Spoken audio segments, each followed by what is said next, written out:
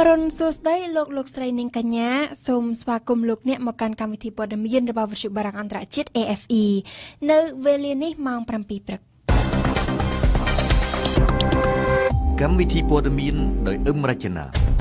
ក្រសួងរ៉ែបញ្ឈប់ការនាំខ្សាច់ចេញទៅលក់នៅក្រៅប្រទេសខណៈអ្នកការពារបរិស្ថានថាគ្មាន ប្រសិទ្ធភាព មន្ត្រីក្រសួងមហាផ្ទៃអះអាងថា ការជួញដូរសរីរាង្គនិងការពោពោះជំនួសព្យាយាមធ្វើឡើងនៅក្នុងទម្រង់ផ្សេងក្រមសង្កេតការសិទ្ធិមនុស្សសេរីអះអាងថាប្រមុខដឹកនាំអង្គការរដ្ឋអ៊ីស្លាមស្លាប់បាត់បង់ជីវិតហើយចិនបដិសេធទំនួលខុសត្រូវនៅក្នុងវិបត្តិកូរ៉េខាងជើង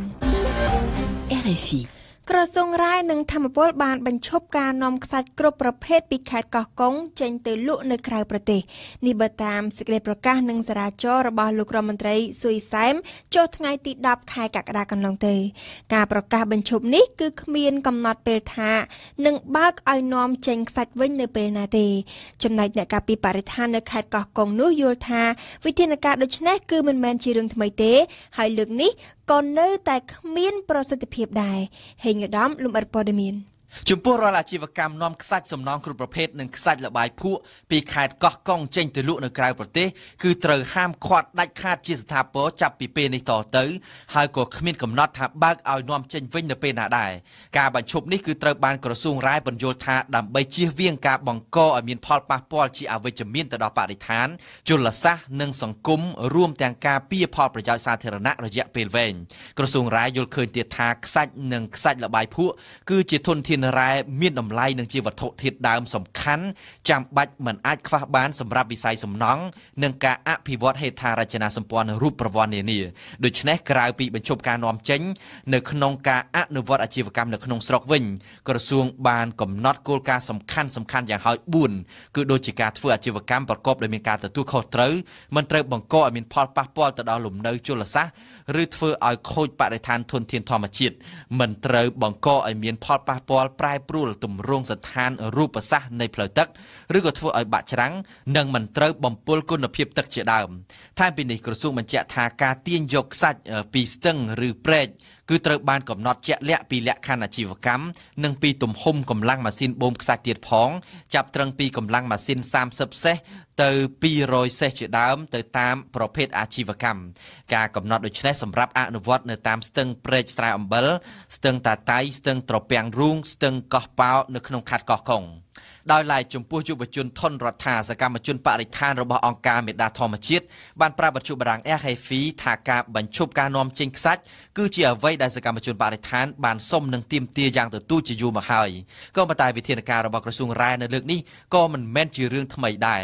បើតាមយុវជនថនរដ្ឋាដដែលចំណាត់ការរបស់ក្រសួងគឺមានត្រឹមតែនៅលើក្រដាស់ប៉ុន្តែសកម្មភាពជាក់ស្ដែងគឺគ្មានប្រសិទ្ធភាពទេការដែលលោកគិតថាគ្មានប្រសិទ្ធភាពព្រោះថាអាញាធរនៅតែមិនអាចហាម5បញ្ឈប់ជាដាច់ខាតចំពោះក្រុមហ៊ុនធំធំដែលធ្វើអាជីវកម្មនៅទីនោះសកម្មជនចលនាមេដាធម្មជាតិរូបនេះបានឲ្យដឹងទៀតថាទន្ទឹមនឹងការចេញលិខិតហាមដូចនេះមានក្រុមហ៊ុនមួយទើបតែសាងសង់រួចអាងសម្អាតខ្សាច់សម្រាប់នាំចេញជាថ្មីមួយទៀតនៅក្បែរកោះស្មាច់ខេត្តកោះកុងនោះឯងដូច្នេះចំពោះយុវជនថនរដ្ឋាវិធានការថ្មីរបស់ក្រសួងគ្រាន់តែក្រដាស់បំផន់ភ្នែកពលរដ្ឋតែប៉ុណ្ណោះបើតាមការបញ្ជាក់របស់យុវជនដដាលដែលបានឈរជើងនៅមូលដ្ឋាននោះស្រាប់វិបត្តិនឹងការប៉ះពាល់ពីការបូមខ្សាច់បានកើតឡើងខ្លាំងជាង10ឆ្នាំមកហើយនិងបានធ្វើឲ្យខាត់បងលុយជាតិរាប់រយម៉ឺនដុល្លារ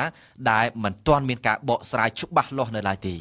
នៅខេត្តសៀមរាបព្រឹកថ្ងៃពុធនេះអាជ្ញាធរអប្សរានឹងរៀបចំសន្និសីទកសែតមួយស្ដីពីការរុះរើសំណង់ខុសច្បាប់នៅតំបន់រមណីយដ្ឋានអង្គរដោយមានការចូលរួមពីអាជ្ញាធរជាតិអប្សរានិងរដ្ឋបាលខេត្តសៀមរាបសន្និសីទកសែតនេះធ្វើឡើងដើម្បីបង្ហាញអំពីវិធានការនានាដែលនឹងត្រូវអនុវត្តនៅក្នុងការរុះរើសំណង់ខុសច្បាប់ខណៈដែលសំណង់ខុសច្បាប់បានរីករាលដាលគួរឲ្យបារម្ភនាពេលកន្លងទៅ នៅក្នុងតំបន់1និងតំបន់2នៃរមណីយដ្ឋានអង្គរ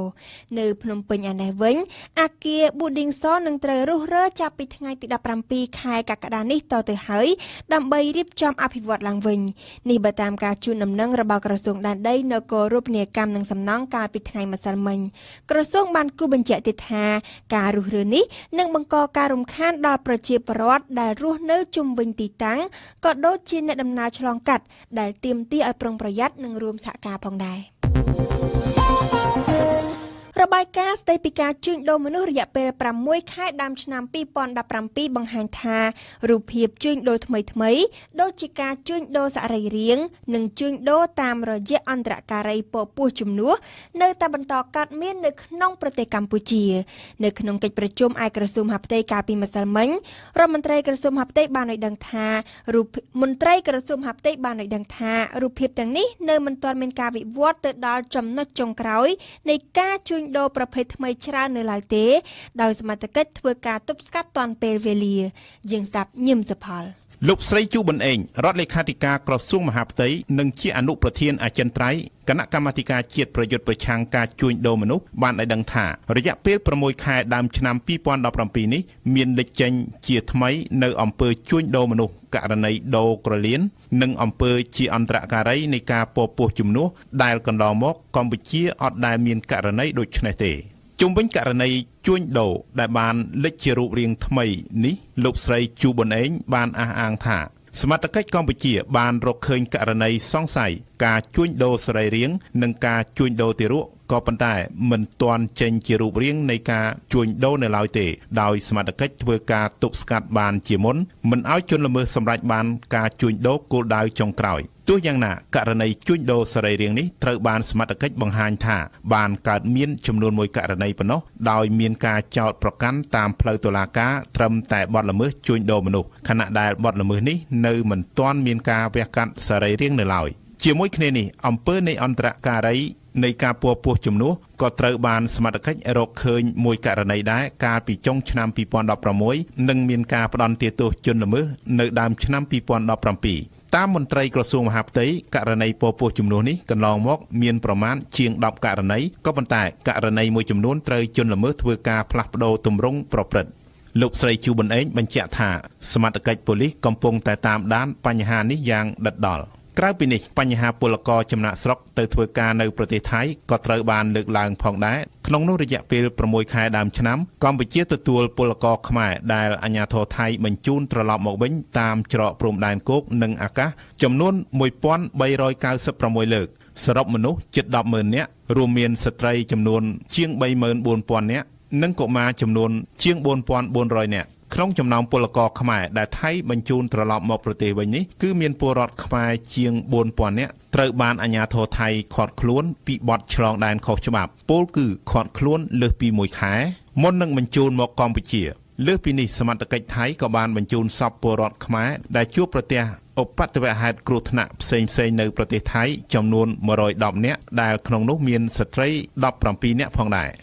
រដ្ឋមន្ត្រីក្រសួងអប់រំថ្លែងថាក្រសួងនឹងរឹតបន្តឹងការប្រឡងសញ្ញាបត្រមធ្យមសិក្សាទុតិយភូមិឬការប្រឡងបាក់ឌុបនៅឆ្នាំនេះដើម្បីទទួលបាននូវគុណភាពខ្ពស់និងមានលក្ខណៈជាស្តង់ដារអន្តរជាតិការលើកឡើងដូចនេះបានធ្វើឡើងនៅក្នុងសន្និសីទព័ត៌មានមួយកាលពីថ្ងៃច័ន្ទកន្លងទៅនៅក្រសួងអប់រំសឿងភិរៈរីកា លោកហងជួនរនរដ្ឋមន្ត្រីក្រសួងអប់រំយុវជននិងកីឡាបានដឹងថាក្រសួងមិនត្រឹមតែមានការរៀបចំវិញ្ញាសាស្តង់ដារនោះទេថែមទាំងមានអ្នកជំនាញដើម្បីជួយកំណត់កំហុសក្នុងការធ្វើកំណែវិញ្ញាសាទៀតផងលោកបន្ថែមថាក្រសួងបានរៀបចំមណ្ឌលប្រឡងចំនួន178មណ្ឌលហើយក្នុងនោះមាន100មណ្ឌលដែលបានជួសជុលរួចរាល់ ហើយក្រសួងនឹងធ្វើការរឹតបន្តឹងលើការប្រឡងបាក់ឌុបនាពេលខាងមុខនេះឲ្យកាន់តែប្រសើរឡើងព្រមទាំងមានការចូលរួមពីអង្គភាពប្រឆាំងអំពើពុករលួយ ACU ផងដែរនេះបើយោងតាមលោកហងជុនរនការប្រឡងសញ្ញាបត្រមធ្យមសិក្សាទុតិយភូមិនឹងប្រព្រឹត្តទៅនៅថ្ងៃទី21សីហាខាងមុខនេះចំនួន2ថ្ងៃដោយមានបេក្ខជនចូលរួមប្រឡងសរុបជាង100,000នាក់នៅទូទាំងប្រទេស ចំពោះវិញ្ញាសាប្រឡងក្រសួងកំណត់ឲ្យសិស្សថ្នាក់ទី12ទាំងអស់ប្រឡងចំនួន7មុខវិជ្ជាហើយនៅថ្ងៃទី21កក្កដាខាងមុខនេះក្រសួងនឹងធ្វើការជ្រើសរើសមុខវិជ្ជាទី7សម្រាប់ការប្រឡងសម្រាប់ការចំណាយក្រសួងបានរៀបចំថវិកាចំនួន15,000លានរៀលស្មើនឹងជាង3.5លានដុល្លារអាមេរិក។ ក្រសួងបានអំពាវនាវដដាលដដាលថាសិស្សានុសិស្សទាំងអស់មិនអនុញ្ញាតឲ្យមានការនាំចូលឬប្រើប្រាស់ឧបករណ៍អេឡិចត្រូនិកដូចជាទូរស័ព្ទដៃម៉ាស៊ីនគិតលេខនាឡិកាដៃទំនើបជាដើមបើពុំដូច្នេះទេសិស្សនឹងត្រូវធ្លាក់ដោយស្វ័យប្រវត្តិជាមួយគ្នានេះក្រសួងបានសន្យាថានឹងមិនឲ្យមានការបែកធ្លាយវិញ្ញាសាប្រឡងនិងការចម្លងវិញ្ញាសាសរសេរពីគ្នា សូមរំលឹកថាកាលពីឆ្នាំ2014សិស្សដែលប្រឡងជាប់បាក់ឌុបលើកទី1ប្រមាណ25%និងលើកទី2ប្រមាណជាង17%ហើយឆ្នាំ2015ជាប់ប្រហែលជាង50%និង2016ប្រហែល62%ចំពោះអ្នកធ្លាក់ក្រសួងលើកទឹកចិត្តឲ្យទៅរៀនបំពេញវិជ្ជាបន្ថែមឬរៀនបន្តមធ្យមសិក្សាផ្នែកវិជ្ជាជីវៈណាមួយជាជាងការបោះបង់ចោលការសិក្សា ចំណែកការប្រឡងឆ្នាំនេះវិញក្រសួងរំពឹងទុកថានឹងទទួលបានលទ្ធផលរឹតតែប្រសើរជាងឆ្នាំកន្លងទៅដោយសារតែការខិតខំប្រឹងប្រែងរបស់សិស្សានុសិស្សការចូលរួមលើកទឹកចិត្តពីមេដាបៃតាអាណាព្យាបាលសិស្សការយកចិត្តទុកដាក់បង្រៀនពីសំណាក់លោកគ្រូអ្នកគ្រូភាគីពាក់ព័ន្ធថ្នាក់ដឹកនាំនិងមន្ត្រីជំនាញគ្រប់កម្រិតថ្នាក់ដែលជាកត្តាសំខាន់ធ្វើឲ្យសមត្ថភាពសិស្សានុសិស្សមានការរីកចម្រើនកើនឡើងជាបន្តបន្ទាប់ តកតងទៅនឹងបញ្ហាអាកាសធាតុចាប់ពីថ្ងៃនេះរហូតដល់ថ្ងៃទី16ខែកក្កដាចុងសប្តាហ៍នេះភ្លៀងនឹងបន្តធ្លាក់រីកប៉ាយច្រើននៅទូទាំងប្រទេសកម្ពុជា ក្នុងនោះក្រសួងធនធានទឹកបានក្រើនរំលឹកដល់ប្រជានេសាទនិងអ្នកធ្វើដំណើរតាមសមុទ្រទាំងអស់ឲ្យបង្កើនការប្រុងប្រយ័ត្នខ្ពស់ចំពោះបាតុភូតភ្លៀងធ្លាក់ច្រើន និងរលកសមុទ្រមានកម្ពស់ខ្ពស់ខ្ពស់ចំពោះប្រជាប្រដ្ឋទូទៅក្រសួងក៏ណែនាំឲ្យប្រុងប្រយ័ត្នផងដែរចំពោះបាតុភូតរន្ទះនិងខ្យល់បក់កន្ត្រាក់នៅពេលមេឃរកកលភ្លៀង អតីតប្រមុខគណៈបកប្រឆាំងលោកសំរងស៊ីពីក្រៅប្រទេស បានសរសេរស្នើឲ្យរដ្ឋបាលរបស់លោកនាយរដ្ឋមន្ត្រីហ៊ុនសែនឈប់ខាត់ពេលក្នុងការប៉ុនប៉ងសម្រាប់រូបលោកតាមផ្លូវនយោបាយតទៅទៀតសំណើរបស់លោកសំរងស៊ីនេះបានធ្វើឡើងកាលពីថ្ងៃច័ន្ទគឺក្រោយពេលដែលរដ្ឋសភាបានអនុម័តសេចក្តីស្នើវិសាស្ត្រនកម្មច្បាប់ស្តីពីគណៈបកនយោបាយនៅពេលព្រឹកថ្ងៃដដែលជាការឆ្លើយតបអ្នកនាំពាក្យគណៈបកកាន់អំណាចថា នេះគឺគ្រាន់តែជាការនិយាយលើកខ្លួនឯងរបស់លោកសំរងស៊ីតែប៉ុណ្ណោះយើងស្ដាប់វ៉ាន់សុគន្ធា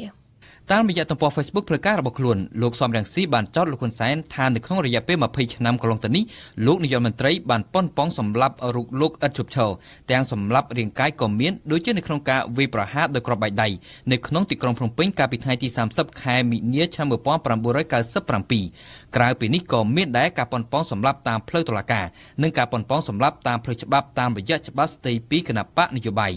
សម្រាប់លោកសំរងស៊ីលោកហ៊ុនសែនគួរតែយល់ឲ្យថាការប៉ុនប៉ងដើម្បីកម្ចាត់រូបលោកតាមមធ្យោបាយណាក៏ដោយវាគ្មានបានប្រយោជន៍អ្វីនោះទេផ្ទុយទៅវិញលោកសំរងស៊ីបានចាត់ទុកការប៉ុនប៉ងបែបនេះថាវាគ្រាន់តែបង្ហាញពីភាពកំសោយនិងភាពកំសាករបស់លោកហ៊ុនសែនបើគិតពីផ្លូវចិត្តនិងផ្លូវសិលធម៌ហើយវានឹងនាំមកនូវលទ្ធផលផ្ទុយស្រឡះពីអ្វីដែលប្រមុខបកកាន់អំណាចរំពឹងទុក។ លោកសុកអេសានអ្នកនាំពាក្យគណៈបកប្រជាជនកម្ពុជាបានប្រតិកម្មតបវិញថា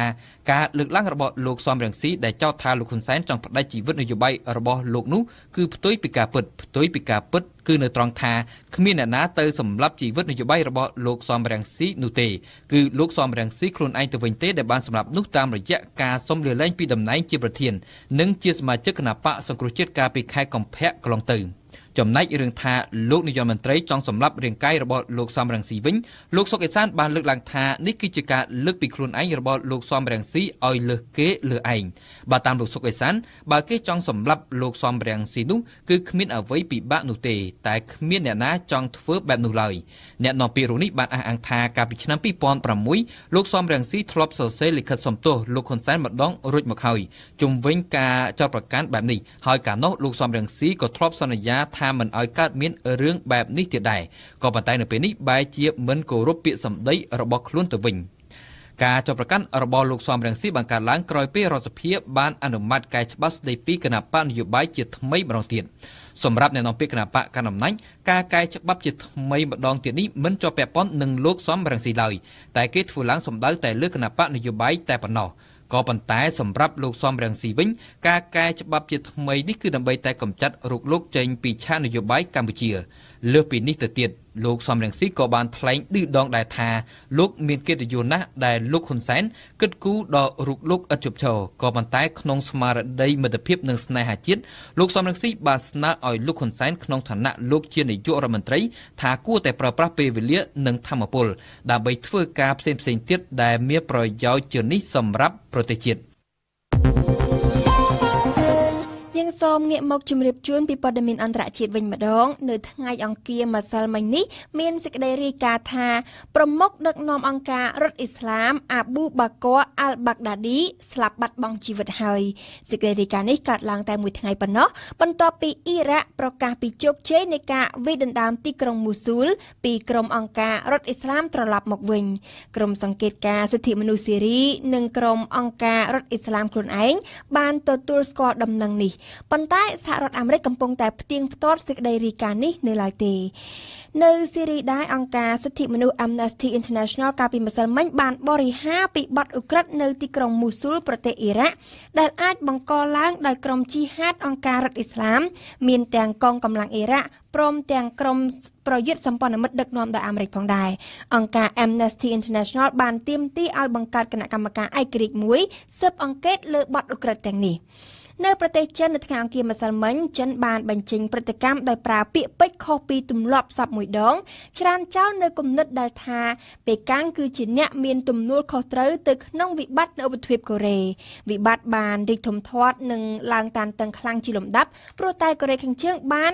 នឹងកំពុងតែអភិវឌ្ឍកម្មវិធី ballistic និងនុយក្លេអ៊ែរដោយបានធ្វើការសាកល្បងជាច្រើនលើកច្រើនសារអៀងសុកមិញជូនព័ត៌មាន ការសាកល្បងមីស៊ីលបាល់ីស្ទិកម្ដងហើយម្ដងទៀតរបស់ព្យុងយ៉ាងបានធ្វើឲ្យអាមេរិកក៏ដូចជាជប៉ុននិងកូរ៉េខាងត្បូងក្តៅក្រហាយកាន់តែខ្លាំងឡើង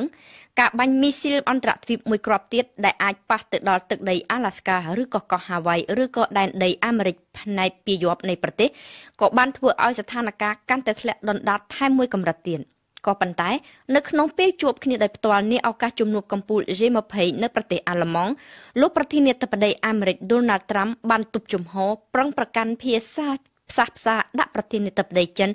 លោកស៊ីជីនពីងខ្លាំងណាស់លើប្រធានបទកូរ៉េខាងជើងដ៏រសើបមួយនេះ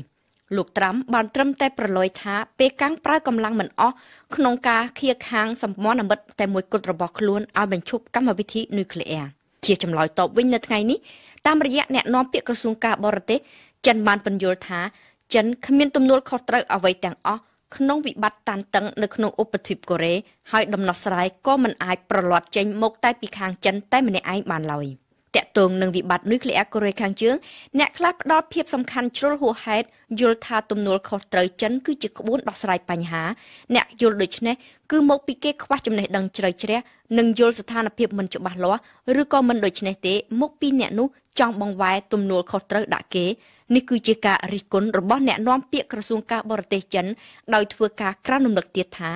ចឹងប្រឹងធ្វើអត់ឈប់និងបានដើរតួនាទីបែបស្ថាបនាច្រើនហើយតែភាគីពាក់ព័ន្ធផ្សេងទៀតត្រូវតែប្រឹងដែរមិនមែនបញ្ជាឲ្យគេធ្វើតែខ្លួនឯងឈរអោបដៃរួចចាំចាក់ពីក្រោយនោះឡើយគឺមិនអាចទទួលយកបានទេជាមួយនឹងប្រតិកម្មដំបូងក្នុងសម្ដីខ្លាំងខ្លាំងខុសពីទម្លាប់នេះ ពេលកាំងបានថែមទាំងបរិហាគម្រោងពង្រីកខែមីស៊ីលអាមេរិកនៅកូរ៉េខាងត្បូងថាជាការគំរាមកំហែងសន្តិសុខផងនិងមិនមែនជាចំណែកជួយបន្ធូរបន្ថយសម្ពាធក្នុងតំបន់ផង។ នៅថ្ងៃអង្គារម្សិលមិញលោក Rex Tillerson រដ្ឋមន្ត្រីការបរទេសអាមេរិកបានចេញពីកូវ៉ែតធ្វើដំណើរទៅដល់ទីក្រុងដូហាប្រទេសកាតាដើម្បីបន្តអន្តរាគមន៍ផ្សះផ្សាវិបត្តិចំនួនរវាងកាតានិងក្រុមប្រទេសអារ៉ាប់លោក Tillerson បានជួបអេមៀប្រទេសកាតានិងបានបង្ហាញក្តីសង្ឃឹមថាគ្រប់គ្នាអាចធ្វើបានប្រសើរទៅមុខថែមទៀតក្នុងការរកច្រកចេញឲ្យវិបត្តិកាតារ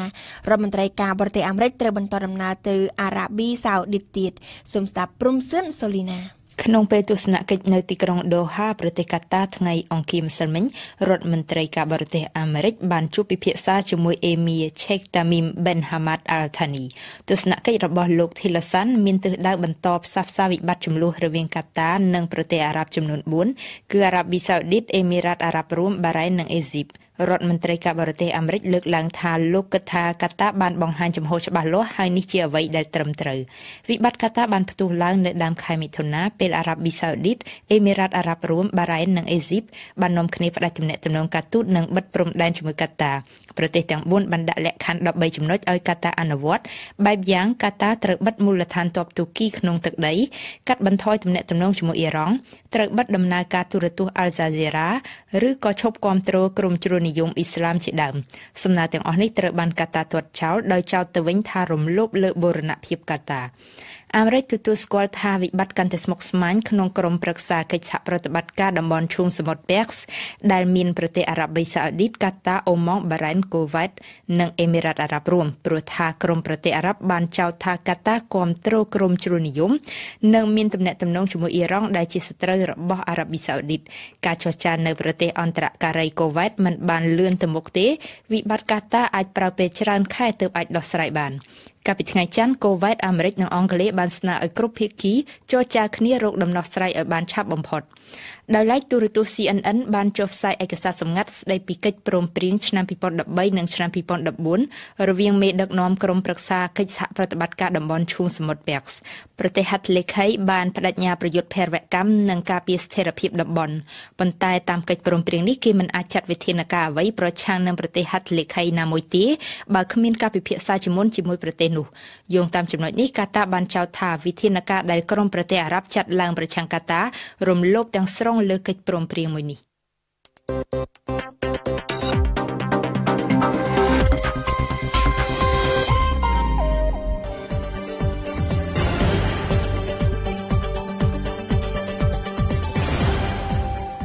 វិទ្យុបារាំង RFI ភ្នំពេញ92 MHz សៀមរាប92 MHz បាត់ដំបង ក្រុងព្រះសីហនុនិងកំពង់ចាម94.5 MHz លោកអ្នកស្ដាប់ជាទីមេត្រីជាបន្តទៀតនេះគឺជានេតិព្រឹត្តិការណ៍កម្ពុជាប្រចាំថ្ងៃរបស់វ៉ាសំណប់ដែលសំណប់នឹងជម្រាបជូនលោកអ្នកអំពីអ្នកខ្លំមើលបរិស្ថានស្វាគមន៍ការបញ្ឈប់ការនាំចេញខ្សាច់ទៅលក់នៅក្រៅប្រទេសប៉ុន្តែមិនទាន់ជឿ100%បន្ទាប់មកគឺជានេតិទស្សនៈព្រឹត្តិការណ៍កម្ពុជារបស់នាងខ្ញុំអឹមរចនាស្ដីពីវប្បធម៌លើកដំកើងបុគ្គលនៅតែមានឥទ្ធិពលនៅក្នុងសង្គមកម្ពុជា នៅក្នុងនេតិទស្សនៈព្រឹត្តិការណ៍ពិភពលោកលោកអ្នកនឹងបានស្ដាប់អៀងសុកមិញបញ្យល់អំពីមូលហេតុដែលចិនមិនឲ្យលោកលីវស៊ឺប៉ូចេញទៅព្យាបាលនៅបរទេសនេតិទស្សនៈសារព័ត៌មានរៀបចំជូនដោយសឿងភិរៈនិងនាយកបញ្ចប់គឺជានេតិបទយោការរៀបចំជូនដោយអេងគឹមហុងព្រឹត្តិការណ៍កម្ពុជាប្រចាំថ្ងៃ ក្រសួងរាយនឹងធម្មពលកាលពីថ្ងៃទី10កក្កដាបានចេញសេចក្តីប្រកាសអំពីការបញ្ឈប់ការអនុញ្ញាតឲ្យនាំខ្សាច់គ្រប់ប្រភេទនៅខេត្តកោះកុងចេញទៅលក់នៅក្រៅប្រទេសសេចក្តីសម្រេចលើកទី2នេះបានធ្វើឡើងក្រោយពីមានរបាយការណ៍ស្តីពីផលប៉ះពាល់នៃការបូមខ្សាច់សមុទ្រដែលស្ថិតនៅតាមស្ទឹងនានានៅក្នុងខេត្តកោះកុងហើយដែលត្រូវបានរងការរិះគន់ពីក្រុមអ្នកខ្លំមើលបរិស្ថាននៅកម្ពុជាយ៉ាងណាក៏ដោយសេចក្តីប្រកាសនេះត្រូវបានស្វាគមន៍ភ្លាមៗដោយក្រុមអ្នកតស៊ូមតិប៉ុន្តែពួកគេនៅមិនទាន់ជឿជាក់100%នៅឡើយទេក្រុមអ្នកខ្លំមើលបរិស្ថាននៅក្នុងខេត្តកោះកុងបានកត់សម្គាល់ឃើញថាមានសេចក្តីសម្រេចមួយចំនួនដែលអាជ្ញាធរបានបរាជ័យក្រោយពីការដាក់ឲ្យអនុវត្តមិនបានប៉ុន្មានផងសូមស្ដាប់សេចក្តីការរបស់វ៉ាសំណប់ការសម្រេចនេះវាជាប្រយោជន៍មួយសម្រាប់ សហគមន៍នៅក្នុងការតាមដានបើសិនជាមានការបូមផ្សាច់ខុសច្បាប់ឬក៏មានការបូមផ្សាច់យ៉ាងទីនោះពិតជាដេញបាត់ល្មើសហើយអញ្ចឹងខ្ញុំគិតថាជាការសម្រេចមួយដែលជារូបភាពមួយដែលបង្ហាញឲ្យមានប្រសិទ្ធភាពនៃការការបូមផ្សាច់នៅតែខុសខុសនៅដែរជំនាញការវាយចិត្តមែនទែនដោយសារតែកន្លងមកសកម្មជនបកឋានក៏ដូចជាប្រជាពលរដ្ឋមូលដ្ឋាននិងសកម្មជនមេដាធម្មជាតិយើងបានធ្វើការតស៊ូមតិបាទយ៉ាងខ្លះខ្នែងបាទជួបប្រទះជាមួយនឹងឧបសគ្គហានិភ័យបាទរឿងរាប់មិនអស់ហើយនៅទីបំផុតហ្នឹងក៏យើងឃើញថាអ្វីដែលយើងចង់បានហ្នឹងគឺបានសម្រេចដោយបំណងនេះគឺជាការលើកឡើងរបស់ក្រុមអ្នកខ្លំមើលប្រធាននិងសង្គមស៊ីវិលដែលធ្វើការតស៊ូមតិជាយូរមកហើយលើសកម្មភាពនៃការនាំខ្សាច់សមុទ្ររបស់ប្រទេសកម្ពុជានៅក្នុងខេត្តកោះកុងទៅលក់នៅឯក្រៅប្រទេសក្រុមអ្នកតស៊ូមតិទាំងនេះបានអះអាងថានឹងរងចាំមើលការអនុវត្តរបស់អាជ្ញាធររដ្ឋាភិបាល និងភាគីពាក់ព័ន្ធលើសេចក្តីសម្រេចជាថ្មីនេះយុវជនសានម៉ាឡាសកម្មជនការពីប្រធានបាទតកតូនជាមួយនឹងយុទ្ធនាការប្រជុំការបូមហ្វាញ់នេះយើងចាប់ផ្ដើមឡើងតាំងពីម្លងខែមេសាឆ្នាំ2015បាទហើយកាលនោះរហូតដល់នៅក្នុងខែសីហាហ្នឹងសកម្មជន3នាក់បាទមានខ្ញុំហើយមានទីសុវិធានិងស៊ីមសំណាត្រូវបានអាជ្ញាធរមានសមត្ថកិច្ចហ្នឹងចាប់ នឹងបញ្ជូនទៅពន្ធនាគារអស់រយៈពេលជាង10ខែនិង14ថ្ងៃដោយសារតែយើងជាមួយនឹងប្រជាជនមូលដ្ឋាននៅក្នុងសុខទុំសាគរនាំគ្នាតវ៉ាទាមទារឲ្យមានការផ្អាកនិងប្រជុំសកម្មភាពបងសាច់នៅតាមបណ្ដោយដងព្រែកក្នុងទឹកហ្នឹងបាទលោកសនជ័យប្រធានអង្គការសម្ព័ន្ធគណនេយ្យភាពសង្គមកម្ពុជា បាទតែសម្រាប់នេះវាខាត់ឡើងថាជាថ្មីនៅពេលដែលមានរឿងអស្ត្រូវជាច្រើននៃការបារម្ភទាក់ទងនឹងការបូមខ្សាច់ហើយគណៈពេលដែលមាន ឃើញមានសំណង់ជាច្រើនតែមានប្រវត្តិសាស្ត្រសង់តែក្រុមហ៊ុនហ្នឹងតែវិជាវរដ្ឋសហគមន៍ក៏សង្ស័យថាថ្ងៃមុខទៅនឹងមានការបូមសាច់ឡើងវិញនៅតំបន់នោះគួរជំរាបជូនថាកាលពីថ្ងៃទី10ខែកក្កដាឆ្នាំ2017នេះក្រសួងរាយនឹងធម្មពលទើបតែបានចេញសេចក្តីប្រកាសថ្មីមួយស្ដីអំពីការបញ្ឈប់ការអនុញ្ញាតឲ្យនាំខ្សាច់សំណង់គ្រប់ប្រភេទនិងខ្សាច់លបាយភក់នៅតាមស្ទឹងចំនួន4នៃខេត្តកោះកុងនាំចេញទៅលក់នៅក្រៅប្រទេសសេចក្តីសម្រេចបិទជាស្ថាពរលើការនាំខ្សាច់ចេញពីខេត្តកោះកុងទៅក្រៅប្រទេសនេះបានកើតឡើងក្រោយពីមានរបាយការណ៍សិក្សាថ្មីមួយស្ដីអំពីផលប៉ះពាល់នៃការបូមខ្សាច់ដែលគ្រោងនឹងប្រកាសផ្សព្វផ្សាយនាថ្ងៃទី21ខែកក្កដាខាងមុខនេះនេះបើតាមការបញ្ជាក់ពីលោកមេងសច្ឆារាអ្នកនាំពាក្យក្រសួងរាយនឹងធម្មពលប៉ុន្តែអ្នកខ្លំមើលបរិស្ថាននៅមិនទាន់ជឿ100%នោះទេកន្លងមកយើងអត់ដែលជឿជាក់លើ ក្រសួងរ៉ែនិងធម្មពលហើយក៏បច្ចុប្បន្ននេះយើងក៏មិនសូវមានជំនឿប្រហែលដែរក៏ប៉ុន្តែលិខិតនេះវាជាផុសតាងសំអាងមួយដើម្បីយើងធ្វើការតស៊ូមតិឬក៏ដើម្បីកុំឲ្យជនខិលខូចដែលព្យាយាមធ្វើសកម្មភាពពុរពន្ធខ្វាញ់ហ្នឹងគេយល់ថាអូក្រុមហ៊ុនរបស់គេគេមានការអនុញ្ញាតត្រឹមត្រូវលោកមេងសធិរា ការសិក្សាស្រាវជ្រាវនេះបានចាប់ផ្ដើមភ្លាមភ្លាមនៅក្រោយពេលដែលក្រសួងបានជាបដាសននៅការនាំចេញខ្សាច់នោះអឺតាំងពីឆ្នាំ2016នេះមកហើយការសិក្សាហ្នឹងទៅតែនឹងបញ្ចប់នៅពេលថ្មីថ្មីនេះហ្នឹងឯងហើយលទ្ធផលនៃការសិក្សាហ្នឹងត្រូវបានយកមកធ្វើជាមូលដ្ឋាននៅក្នុងការចេញនៃប្រកាសបញ្ឈប់ការអនុញ្ញាតធ្វើអាជីវកម្មនាំចេញខ្សាច់ខេត្តកោះកុងក៏ដូចជាការចង កំណត់នៅយុទ្ធសាស្ត្រគ្រប់គ្រងអាជីវកម្មខ្សាច់តាមបណ្ដាស្ទឹងនៅខេត្តកោះកុងនឹងដែរលោកមេសធិរាបានបន្ថែមអឺយើងខ្ញុំមិនមានការឆ្លើយតបអីចំពោះការលើកឡើងរបស់គាត់ទេព្រោះជាទូទៅគាត់លើកអញ្ចឹងតែរហូតមកហើយសូម្បីតែការការនាំចេញខ្សាច់ហ្នឹងគាត់ថាអត់ចឹងដែរតែណាចាស់ស្ដែងមិនមានការនាំចេញសាច់អីក្រោយពីយើងបានគេបាននេះថាវិធានការរបស់គេក៏បានដាក់ចេញក៏វាមានប្រសិទ្ធភាពដែរយុវជនសានម៉ាឡាក៏ប៉ុន្តែ អឺគណៈពេលដែលក្រសួងបានចេញលិខិតមួយដើម្បីហាមឃាត់ការនាំចេញខ្សាច់ទៅក្រៅប្រទេសជាស្ថាពរហ្នឹងក៏យើងឃើញថាការរដ្ឋានមួយត្រូវបានក្រុមហ៊ុនសាងសង់ឡើងនៅក្នុងគោលបំណងដើម្បីលាងខ្សាច់ហើយនាំចេញទៅក្រៅប្រទេសដែរហ្នឹងគឺនៅតែមានសកម្មភាពក្នុងការសាងសង់លោកមេងសធិរាអ្នកនាំពាក្យក្រសួងរ៉ែនិងធម្មពលតាមពិតទៅរហូតមកដល់បច្ចុប្បន្ននេះគឺក្រុមហ៊ុនទាំងអស់ហ្នឹងបានបិទ ទ្វារអស់ហើយតាំងពីយើងអាចការនាំចេញខ្សាច់ជាបណ្ដោះអាសន្នតាំងពីឆ្នាំ2011នោះចំណែកលោកសនជ័យប្រធានអង្គការសម្ព័ន្ធគណនេយ្យភាពសង្គមកម្ពុជាក៏បានទាមទារឲ្យមានការភ្ជាប់ជាមួយនៅយន្តការបន្ថែមទៀតទៅលើសេចក្តីប្រកាសរបស់ក្រសួងនេះណាដែលមិនមានទៅទៀតអត់នេះថាយើងได้សម្រេចមួយដែលខ្វះការរៀបយន្តការតាមដានហើយនិយាយទៅគឺយើងមើលទៅលើអតិពលនៃមន្ទីររ៉ែនៅខាងព លខេត្តនេះគឺតែក៏អត់មានអំណាចគ្រប់គ្រាន់ដែរហើយក៏វាអាចទៅពាក់ព័ន្ធជាមួយនឹងរឿងនៃដែន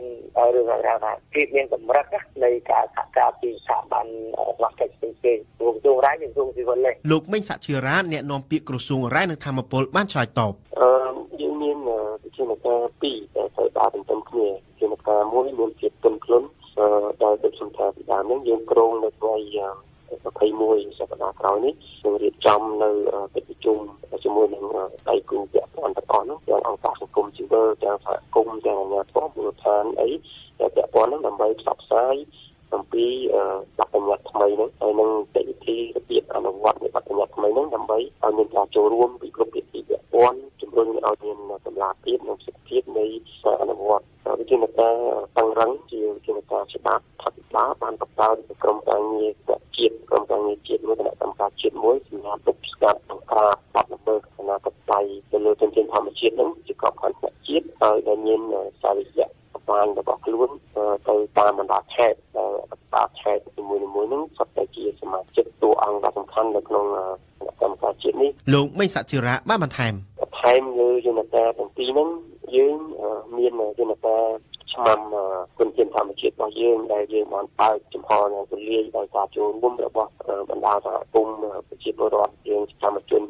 បរិស្ថានសង្គមរបស់យើងដែលកន្លងមកបានចូលរួមយ៉ាងសកម្មរួចហើយនៅក្នុងការផ្តល់ព័ត៌មានអំពីបទល្មើសនានាដែលកើតឡើងនៅក្នុងការធ្វើជីវកម្មទាំងអស់នេះដើម្បីឲ្យយើងអាចនឹងចាត់វិធានការបានទាន់ពេ លវេលាលោកសនជ័យប្រធានអង្គការសម្ព័ន្ធគណនេយ្យភាពសង្គមកម្ពុជាកន្លងមកយើងឃើញថាមានការរញច្រានព័ត៌មានដាក់គ្នាដូចទៅមកណាវាទៅរឿងសហគមន៍ដែលគឺឬក៏សកម្មជនមេដាធម្មជាតិហ្នឹងគេផ្ដោតអស់ការនៃការថតបានថាមានកប៉ាល់ធំនៅឯមុខខាងក្រៅអញ្ចឹងខ្ញុំខ្ញុំថាក៏តែមាននៃការសហការគ្នាក្នុងការស្វែងរកការពិតទៅវិទ្យានៃខ្សែសម្រាប់បរិតាបានដែរលោកមេងសជរាមុនពេលនេះបានហ្នឹងមានដូចជា8 9ក្រុមហ៊ុននេះហ្នឹងឯង ក្រោយពី2016មកអស់ហើយអត់មានទេនៅសល់មានតែពួកអាជីវករផ្នែកតូចតូចជាលក្ខណៈសិប្បកម្មតូចតូចដែលគាត់ធ្វើអាជីវកម្មនៅផ្នែកខាងលើខាងលើនៃដងស្ទឹងដើម្បីផ្គត់ផ្គង់នឹងខ្សាច់សំណង់នៅក្នុងខេត្តនៅក្នុងតំបន់របស់គាត់ហ្នឹងឯងជាទូទៅខ្សាច់ដែលបាននាំចេញពីតំបន់ឆ្នេររបស់យើងហ្នឹងជាខ្សាច់លបាយភក់ដែលមានគុណភាពគ្រប់គ្រាន់សម្រាប់យកទៅធ្វើជាបេតុងទេប៉ុន្តែមានគុណភាពសម្រាប់យកទៅចាក់បំពេញគឺការចាក់បំពេញវិទ្ដីចាក់បំពេញដើម្បីធ្វើការអភិវឌ្ឍដីធ្លីនិងកសាងដល់អគារណង់អីផ្សេងផ្សេងនឹង ឯងគួរជំរាបជូនថានេះគឺជាសក្តីសម្រេចជាលើកទី2ហើយលើចំណាត់ការនៅក្នុងការបញ្ឈប់ការនាំចេញខ្សាច់សមុទ្រពីប្រទេសកម្ពុជាទៅលក់នៅក្រៅប្រទេសក្រោយពីសំណុំរឿងនេះបានផ្ទុះឡើងខ្ទោខ្ទារហូតដល់មានការកោះហៅរដ្ឋមន្ត្រីក្រសួងរ៉ែនិងធម្មពលទៅឆ្លើយបំភ្លឺនៅក្នុងរដ្ឋសភាផង កាលពីឆ្នាំ2016សង្ហបុរីដែលជាប្រទេសតូចតែមានសេដ្ឋកិច្ចជឿនលឿនត្រូវបានគេដឹងថាគឺជាទីផ្សារនាំចេញខ្សាច់សមុទ្រពីប្រទេសកម្ពុជាដើម្បីយកទៅចាក់ពង្រីកដែនកោះរបស់ខ្លួនប៉ុន្តែអំណះតទៅលោកមេងសធិរាបានបញ្ជាក់ថានឹងមិនមានការអនុញ្ញាតឲ្យមានការនាំចេញខ្សាច់សមុទ្រពីប្រទេសកម្ពុជាទៀតទេក្នុងរយៈពេល5ឆ្នាំក្រោយបើគ្មានការសិក្សាវិតម្លៃថ្មីលើផលប៉ះពាល់ខណៈដែលវិបត្តិនិងផលប៉ះពាល់នៃការបួងខ្សាច់នេះបានកើតឡើងរយៈពេលជាង10ឆ្នាំមកហើយនៅក្នុងនាមយុវជនដែលធ្វើកិច្ចការងារសង្គមយើងនៅតែ បន្តបដិញ្ញាដើម្បីឃ្លាំមើលសកម្មភាពខ្សាច់ជាពិសេសក៏យើងមានចន្ទៈនៅក្នុងការការពីអភិរក្សក៏ដូចជាស្រាវជ្រាវនិងស៊ើបអង្កេតពីរឿងជាច្រើនទៀតតទៅជាមួយនឹងអាជីវកម្មទាញយកធនធានធម្មជាតិមិនថានៅក្នុងខេត្តកោះកុងទេបច្ចុប្បន្ននេះក្រុមសកម្មជនគឺចាប់ផ្ដើមបានពង្រីកខ្លួនទៅតំបន់មួយចំនួនទៀតបាទដែលតកតងទៅនឹងសកម្មភាពទាញយកធនធានធម្មជាតិដោយអត់មានតម្លាភាពនេះ ស្ដាប់កម្មវិធីព័ត៌មានរបស់វិទ្យុបារាំង AFE ពេលព្រឹកពីម៉ោង7ដល់ម៉ោង8ពីម៉ោង10កន្លះដល់ម៉ោង11ថ្ងៃរសៀលពីម៉ោង1ដល់ម៉ោង2រសៀលនិងពីម៉ោង4កន្លះដល់ម៉ោង5និងពេលយប់ពីម៉ោង7ដល់ម៉ោង8កម្មវិធីនេះសហការឧបត្ថម្ភដោយកែមប្រូប៊ីយោទិកជាផលិតផលធម្មជាតិ100%មានគុណភាពខ្ពស់ដល់សុខភាព ដូចជាជួយសម្រួលការរំលាយអាហារបំបាត់ stress ធ្វើឲ្យពិសាបាយបានសម្រានលក់ស្រួល និងបំបត្តិការឈឺសន្លាក់កែមប្រូប៊ីយោទិកជាផលិតផល PPM និង Conferel ហើយចែកចាយដោយក្រុមហ៊ុន DKSH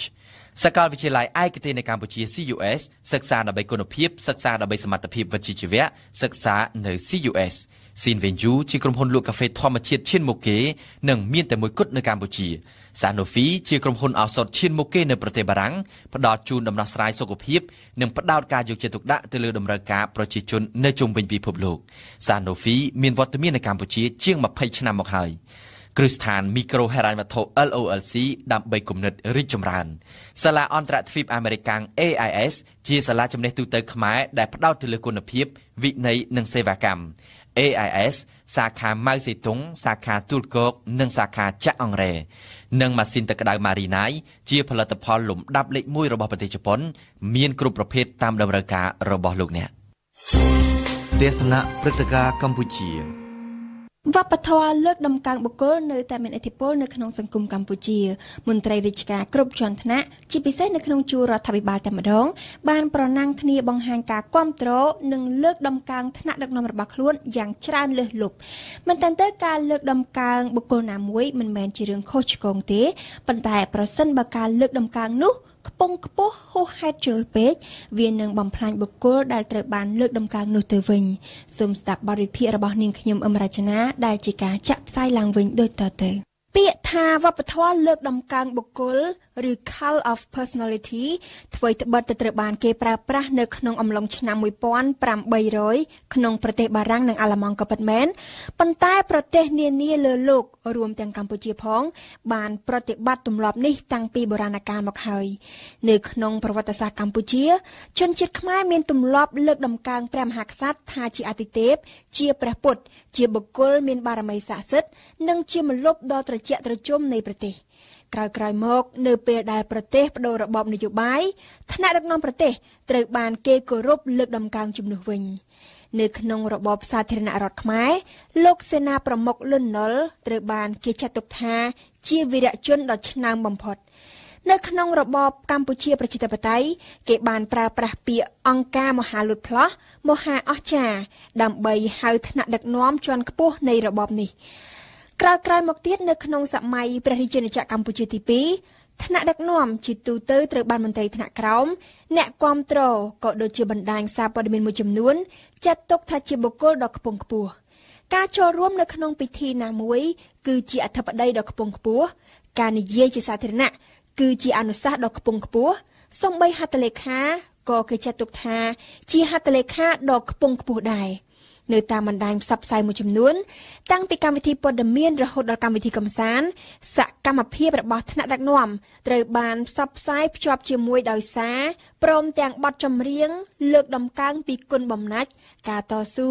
និងការលះបង់នានាដើម្បីសុខសន្តិភាពរបស់ប្រទេស។ ជាការពិតហើយថា ការលើកដំកើងបុគ្គលណាមួយ មិនមែនជារឿងខុសឆ្គងទេប៉ុន្តែប្រសិនបើការលើកដំកើងនោះខ្ពង់ខ្ពស់ហួសជ្រុលពេកមិនឆ្លុះបញ្ចាំងពីការពិត វានឹងត្រឡប់ទៅបំផ្លាញមេដឹកនាំដែលត្រូវបានលើកដំកើងនោះទៅវិញជាទូទៅ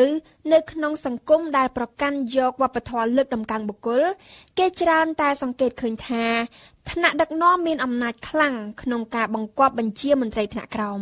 ការអនុវត្តរបៀបនេះคล้ายជាទម្លាប់រហូតធ្វើឲ្យមន្ត្រីថ្នាក់លើคล้ายជាទំយើ យល់ថាមានតែខ្លួនឯងទេ ដែលល្អនិងពូកែលើសគេ ចំណែកមន្ត្រីថ្នាក់ក្រោមវិញคล้ายជាខ្ជិលច្រអូសមិនទទួលខុសត្រូវលើការងាររបស់ខ្លួនគឺទាល់តែមានបញ្ជាពីថ្នាក់លើទើបធ្វើការ ទាំងនេះបានធ្វើឲ្យបញ្ហាតូចប្រមូលផ្ដុំខ្លាចជាបញ្ហាធំ និងចាក់ស្រេះពិបាកដោះស្រាយរដ្ឋាភិបាលគណៈបកប្រជាជនកម្ពុជា ដែលមានវប្បធម៌លើកដំកើងថ្នាក់ដឹកនាំធ្លាប់ទទួលបានមេរៀនជូរចត់និងច្បាស់លាស់ណាស់តាមរយៈការស្រុតចុះប្រជាប្រិយភាពយ៉ាងខ្លាំងក្នុងការបោះឆ្នោតសភាចុងក្រោយនេះមេរៀននេះគួរតែមានន័យគ្រប់គ្រាន់ក្នុងការកែលម្អស្ថានភាពឡើងវិញ ប៉ុន្តែបើទោះបីជាយ៉ាងនេះក៏ដោយក៏វប្បធម៌លើកដំកើងដើម្បីផ្គប់ចិត្តថ្នាក់លើច្រើនជាងផ្គប់ចិត្តពលរដ្ឋម្ចាស់ឆ្នោត នៅតែមិនទាន់ថមថយនៅឡើយទេសប្តាហ៍ថ្ងៃគេនៅតែប្រទះឃើញ សារជូនពរតាមបណ្ដាញផ្សព្វផ្សាយនានាសម្រាប់បុគ្គលណាម្នាក់ជាពិសេសថ្នាក់ដឹកនាំតែម្ដង នៅក្នុងឱកាសខួបកំណើតឬក្នុងឱកាសតែងតាំងឋានៈថ្មីណាមួយយ៉ាងណាក៏ដោយ គេពិបាកនឹងបន្ទោសមន្ត្រីថ្នាក់ក្រោមណាស់ចំពោះការលើកដំកើងមេកៅដូចនេះ ពិបាកបន្តព្រោះតែការប្រតិបត្តិរបៀបនេះកើតមានតាំងពីបុរាណកាលហើយបន្តកើតមានកាន់តែច្រើនឡើងច្រើនឡើងនាពេលបច្ចុប្បន្នអ្នកលើកដំកើងគេមួយចំនួនមិនត្រឹមតែចង់ទំយើថ្នាក់ដឹកនាំរបស់ខ្លួនតាមទម្លាប់ប៉ុណ្ណោះទេពួកគេក៏ចង់បានមកវិញផងដែរនៅអធិពលនិងផលប្រយោជន៍ណាមួយដូច្នេះការបញ្ចប់វប្បធម៌លើកដំកើងបុគ្គលដែលភាកច្រើនជាមេកៅនេះ ទំនងជាមិនអាចទៅរួចទេប្រសិនបើគេរងចាំតែការអនុវត្តពីមន្ត្រីថ្នាក់ក្រោមតែម្ខាងមន្ត្រីថ្នាក់លើខ្លួនឯងដែលត្រូវគេលើកដំកើងត្រូវតែទទួលស្គាល់ថា ការប្រព្រឹត្តរបៀបនេះកំពុងតែបង្កើតបញ្ហា ហើយត្រូវបង្កើតទម្លាប់ថ្មី ដែលថ្នាក់ក្រោមអាចសរសើរព្រមទាំងរិះគន់ស្ថាបនាមន្ត្រីថ្នាក់លើផងដែរដោយផ្អែកទៅលើតថភាពជាក់ស្ដែង មានតែទម្លាប់ថ្មីដូចនេះទេទើបអាចផ្ដួលរំលំនៅវប្បធម៌លើកដំកើងបុគ្គលការធ្វើនយោបាយបែបអំណាចប្រមូលផ្ដុំ ដើម្បីឈានទៅដោះស្រាយបញ្ហានានានៅក្នុងសង្គមជាតិឲ្យបានពិតប្រាកដទេសនាព្រឹត្តិការណ៍ពិភពលោក ស្ថានភាពសុខភាពរបស់លោកលាវស៊ូប៉ូជ័យលាភី Nobel សន្តិភាពឆ្នាំ2010កាន់តែដុនដាបក្រោមសម្ពាធអន្តរជាតិរដ្ឋាភិបាលចិនបានសុកចិត្តអញ្ជើញគ្រូពេទ្យឯកទេសបរទេសពីររូបឲ្យទៅពិនិត្យស្ថានភាពជំងឺមហារីករបស់លោកលាវស៊ូប៉ូកាលពីសប្តាហ៍មុនសម្រាប់គ្រូពេទ្យបរទេសការបញ្ជូនអ្នកជំងឺទៅអាល្លឺម៉ង់ឬអាមេរិកអាចធ្វើទៅរួចនិងបានកាន់តែឆាប់កាន់តែប្រសើរចំពោះស្ថានភាពជំងឺឈានដល់ដំណាក់កាលចុងក្រោយមែនទែនប៉ុន្តែពេទ្យចិនថាមិនអាចទេហានិភ័យមានខ្ពស់ណាស់សម្រាប់អ្នកជំងឺតើគួរជឿលើពេទ្យណាហេតុអ្វីពេទ្យចិនមិនចង់ឲ្យលោកលាវស៊ឺប៉ូទទួលបានការព្យាបាលនៅបរទេសយើងស្ដាប់អៀងសុកមិញតាមរយៈលិខិតថ្លែងការណ៍គ្រូពេទ្យជាតិអាមេរិកនិងអាល្លឺម៉ង់បានធ្វើសេចក្តីប្រកាសថាលោកលីសៀវបូអាចធ្វើដំណើរទៅបរទេសដោយសុវត្ថិភាពតាមរយៈមធ្យោបាយដឹកជញ្ជូនបំពាក់សេវាកម្មវិជ្ជសាស្ត្រត្រឹមត្រូវ។ ថ្មីបើគ្រូពេទ្យអាល្លឺម៉ង់និងអាមេរិកបានទទួលស្គាល់ថាម្ចាស់ជ័យលាភីរង្វាន់ Nobel សន្តិភាពលីវសៀបូដែលបានទទួលសេរីភាពក្រោមមូលហេតុសុខភាពបានទទួលការព្យាបាលយ៉ាងត្រឹមត្រូវនិងប្រកបដោយគុណភាពពីមន្ទីរពេទ្យនៅឯភាគខាងជើងប្រទេសមែនក៏ប៉ុន្តែពេទ្យជំនាញទាំងពីរនេះយល់ថាអ្នកជំងឺលីវសៀបូគួរតែត្រូវបានទទួលនៅការព្យាបាលតាមវិធីផ្សេងទៀតនៅបរទេសដូចជាការព្យាបាលដោយវិទ្យុសកម្មជាដើមឡើយ គ្រូពេទ្យបរទេសទាំងពីររូបនេះដែលអាជ្ញាធរចិនបានអញ្ជើញឲ្យទៅពិនិត្យមើលស្ថានភាពជំងឺរបស់លោកលីសៀបូនៅក្នុងមន្ទីរពេទ្យចិនបានគ្រប់គ្រងសំណើរបស់ក្រុមគ្រួសារដែលចង់នាំរូបលោកសកម្មជនសិទ្ធិមនុស្សទៅព្យាបាលនៅបរទេសការធ្វើដំណើរដែលនឹងគ្មានបង្កគ្រោះថ្នាក់អ្វីទាំងអស់ប្រសិនបើគេអាចដឹកជញ្ជូនលោកលីសៀបូដោយភ្លាមភ្លាមនិងក្នុងពេលឆាប់ឆាប់ ក៏ប៉ុន្តែបើគេបង្អង់អ្នកជំងឺអាចធ្លាក់ខ្លួនកាន់តែធ្ងន់ធ្ងរហើយបើដល់ថ្នាក់សន្លប់បាត់ស្មារតីនោះគេនឹងអាចលែងលើកគាត់ទៅណាបានទៀតហើយក៏ប៉ុន្តែ បញ្ហានៅត្រង់ថាក្រុមគ្រូពេទ្យចិនជំទាស់យោបល់របស់មន្ទីរពេទ្យទំនងជាធ្វើឡើងក្រោមបញ្ជារបស់រដ្ឋាភិបាល ដែលត្រូវការរិះរោចគ្រប់មធ្យោបាយគ្រប់គ្រងស្ថានភាពដើម្បីធ្វើយ៉ាងណាកុំឲ្យប៉ះពាល់ដល់រូបភាពប្រធានាធិបតីខ្លាំងពេក ម្យ៉ាងទៀតសម្រាប់លោកស៊ីជីនពីងការព្រមឲ្យសកម្មជនម្នាក់នេះដែលចិនសប្ថ្ងៃចាត់ទុកថាជាអ ுக ្រិតជន បានរួចខ្លួនមិនអាចសម្រេចទៅបានដោយស្រួលស្រួលនោះឡើយករណីរបស់លោកលីវសៀបូអាចនឹងធ្វើឲ្យមានការខ្ចោខ្ចាយខ្លាំងនៅបរទេសជាប់ទោស11ឆ្នាំក្នុងពន្ធនាគារតាំងតែពីឆ្នាំ2009មក ពីបទញុះញង់ចង់ធ្វើវិធានសនាផ្ដួលរំលំរដ្ឋាភិបាលលោកលីសៀបូគឺជានិមិត្តរូបតំណាងការបង្ក្រាបដ៏ហិង្សានិងខ្លាំងក្លាបំផុតរបស់ចិនទៅលើសកម្មជនសិទ្ធិមនុស្សដើម្បីប្រជាធិបតេយ្យនិងជាជ័យលាភីរង្វាន់ Nobel សន្តិភាពតែម្នាក់គត់នៅលើលោកដែលជាប់ទោសនិងជាប់ក្នុងពន្ធនាគារដូច្នេះចិនមិនត្រូវការឲ្យពិភពលោកនិយាយអំពីរូបលោកលីវសៀបូបើទោះបីជាចិនដឹងយ៉ាងច្បាស់លាស់ថាជីវិតរបស់សកម្មជនរូបនេះមិនយូរអង្វែងយ៉ាងណាក៏ដោយ វត្តមានរបស់លីវសៀបូទោះបីជាក្តីខ្លីក្តីក៏អាចជះផលអវិជ្ជមានដល់ប្រទេសចិន និងដល់លោកប្រធានាធិបតីស៊ីជីនពីងពីព្រោះថាសមាជបកកុម្មុយនីសចិននឹងត្រូវប្រព្រឹត្តទៅនៅរវាងតែ2 3ខែទៀតខាងមុខនេះតែប៉ុណ្ណោះដូច្នេះបើអាញា ទើបអាញាធរចិនខំប្រឹងធ្វើគ្រប់យ៉ាងទប់ស្កាត់មិនឲ្យលោកលីសៀបូបានបញ្ចេញមតិអ្វីទាំងអស់ពីព្រោះពាក្យរបស់លោកលីសៀបូគឺជាពាក្យរបស់ជ័យលាភីរង្វាន់ Nobel សន្តិភាព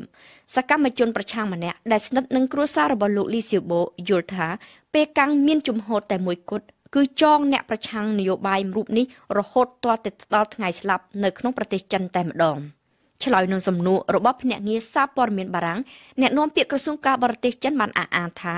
ករណីលោកលីសៀបូមិនមែនជាសំណុំរឿងការទូតទេ តែជាកិច្ចការផ្ទៃក្នុងដូច្នេះចិននឹងប្រឆាំងរាល់គ្រប់ចេតនាចង់ជ្រៀតជ្រែករបស់ប្រទេសដទៃក៏ប៉ុន្តែចិនភ្លេចគិតថាការដែលហាមឃាត់មិនឲ្យលោកលីសៀបូចេញទៅបរទេសនឹងបណ្ដោយឲ្យលោកបាត់បង់ជីវិតនៅក្នុងទឹកដីពីព្រោះជំងឺដោយមិនបានទទួលការព្យាបាលស្របតាមឆន្ទៈ ក៏ជាកំហុសមួយដែលកត់ជាប់នៅក្នុងប្រវត្តិសាស្ត្រចិនដែរថាបានធ្វើទុកបុកម្នេញលើអ្នកទស្សនយោបាយដោយយ៉ាងប្រទេសដ៏ដែលមានរបបផ្ដាច់ការផ្សេងផ្សេងទៀតបានធ្វើមានជាអាចកូរ៉េខាងជើង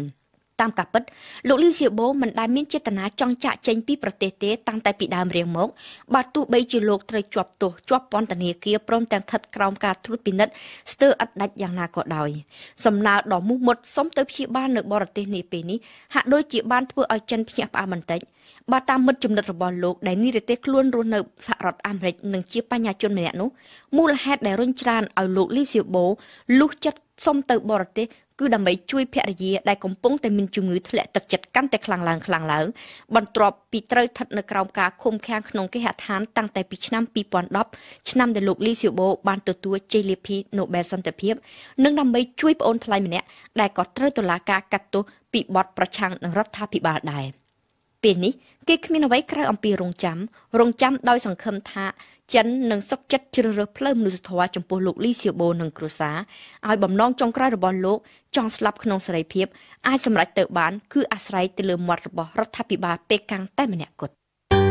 ទេសនៈសារព័ត៌មាន